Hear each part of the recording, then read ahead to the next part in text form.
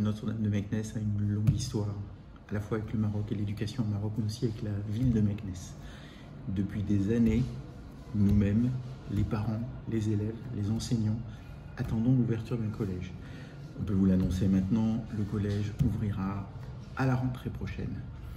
Actuellement, nous travaillons d'arrache-pied pour constituer l'équipe pédagogique. Mais mieux que long discours, je crois qu'il faut écouter la joie de nos élèves de sixième année primaire à l'annonce de l'ouverture du collège et à l'écoute des premiers bruits du chantier de construction.